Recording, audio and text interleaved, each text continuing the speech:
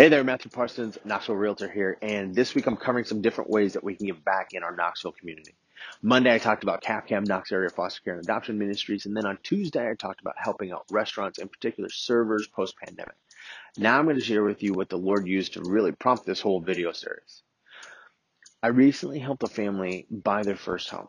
It's a modest home, but they wanted to stop renting. They wanted to begin building equity and they wanted to find a place that had no stairs because their son, whom they adopted from Colombia, is in a wheelchair. I'm telling you, they're the real deal.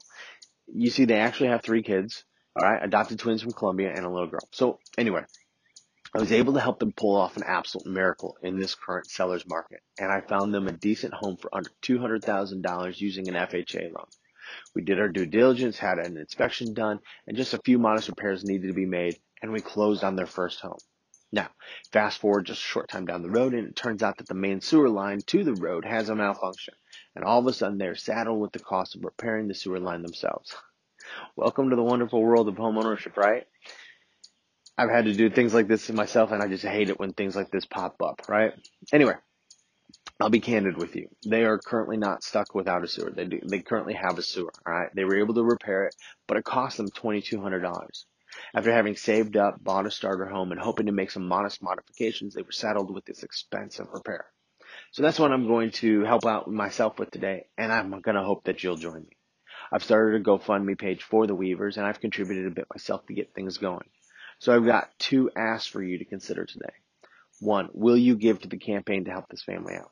I know it's not huge on the scale of human tragedy, but for this family, it would really mean a lot. A gift of $25, $50, $100, $500.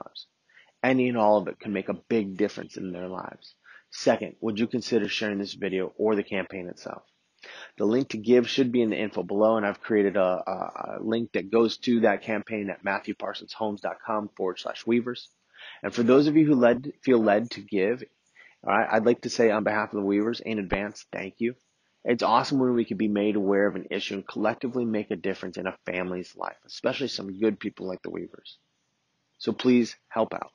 I'm Matthew Parsons, realtor here in Knoxville, Tennessee. Thank you and God bless.